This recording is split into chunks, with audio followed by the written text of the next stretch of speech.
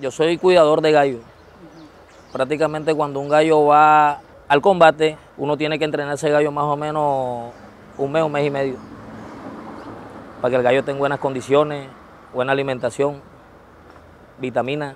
Se le puede dar maíz, plátano maduro, un combate, maíz molido, leche clean, cola granulada, huevo cocido. Por ejemplo, hay gallos que pelean en 3.10, 3.5, 3.6, 3.7. Si yo tengo un gallo que pelea en 3.5, no lo puedo subir a 3.10. ¿Por qué? Porque el gallo no pelea igual. El gallo debe siempre estar nivel de peso. Hay que gallos que pelean por un millón, dos millones. Uno se gana el 20% de la saca del gallo. Por ejemplo, si el dueño le juega toda la plata, yo como cuidador me gano el 20% de la saca del gallo. El entrenador. Si el gallo pelea por un millón, me gano 200. ¿Usted tiene un gallo? Tengo varios. Y los pone a pelear. Claro. ¿Cada cuánto pelean? Por ejemplo, si el gallo está listo para pelear en el mes, hay tres o cuatro gallos para pelear. Los que, están, los que estén en condiciones de pelear. Oye, ¿y ¿cómo celebran aquí el 20 de julio? Bien. Fiesta, trago. ¿No hay pelea de gallo? No, no, no, no, no. Fútbol, deporte, nada más lo que hay aquí. ¿Y cuál es el problema para usted que tiene el barrio? La inseguridad, muchos rateros, muchos bandidos. ¿A qué hora? A cualquier hora del día, a cualquier hora y aquí hay bandidos, se meten a la hora que a la hora menos pensado, estás sentado en, tu, en la puerta de tu casa y te atracan enseguida. Sí, sí, la Ciudadela 20 de Julio es un barrio muy unido. Es un barrio que se caracteriza por eso, porque siempre estamos unidos. El vecino con el otro nos ayudamos, entre otros, así. Aquí hay una tiendecita que es la Virgen del Carmen al frente.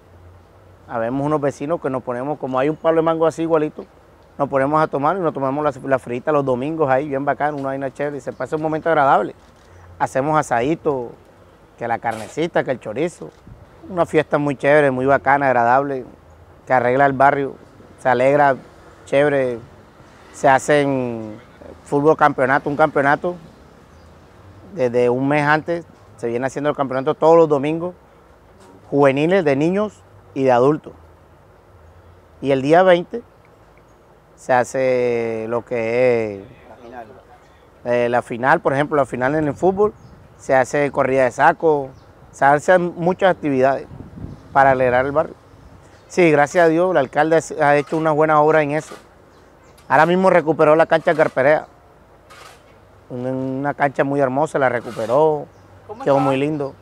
Antes estaba lleno de, de marihuaneros, de coletos, llegaba ahí de toda vaina, ¿sí me entiendes?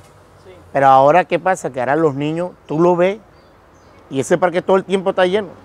A toda hora. No da abasto. O sea, el parque quedó, la verdad, es un parque excelente, pero quedó muy pequeño. No da abasto. Porque la ciudadela 20 de julio, acuérdate que son bloques, son de cuatro pisos y son dobles. Ahora, sácale nada más por ahí cuatro niños por bloque. Y a esa canchita no da abasto. Sí, tenemos unos problemas. Últimamente, hace como de 3, 4 meses acá, se viene presentando mucho el vicio. Que vienen, por ejemplo, pelados de Carrizal, 7 de abril, de por allá, esos barrios así, cerca de aquí, Venezolano. venezolanos, que se ponen mucho venezolanos a meter vicio y a vender vicio por aquí también. Ya pasan por aquí con el tabaco marihuana prendido como si nada. La problemática, pues te digo, la inseguridad. Inseguro en el sentido, como te digo yo, a veces pasa la moto, alguien que pase, pero ya casi no se está viendo porque ya tenemos el frente de seguridad.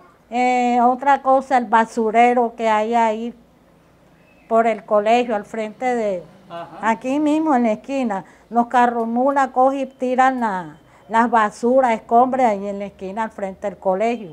Bueno, nosotros aquí el 20 de julio ya casi no es como antes, porque en verdad la ciudadela 20 de julio son los bloques, según el barrio.